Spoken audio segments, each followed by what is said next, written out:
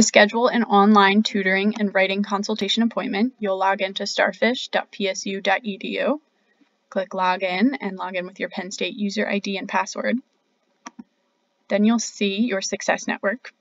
At the top is your connections, which are your instructors and assigned advisor. And then at the bottom, you'll see your services.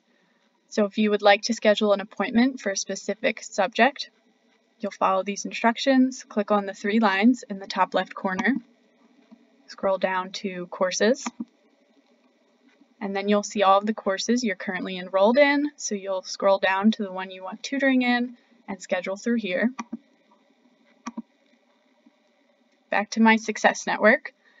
If you're looking for uh, help with study skills or writing consultation, you'll schedule directly through these links. So I'm going to click Schedule for Study Skills. Study skills is what I need help with. And then you'll see the days and times of all of the available appointments. So you can select a specific day from the calendar on the left and then select the time that works best for you.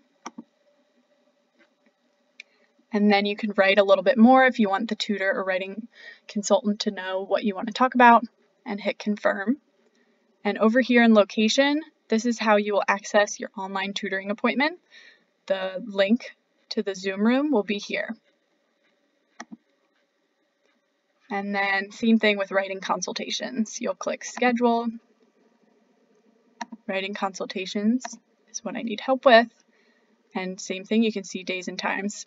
So select the one that works best for you. And again, the Zoom link is how you will access the appointment. And you can hit confirm when you're ready.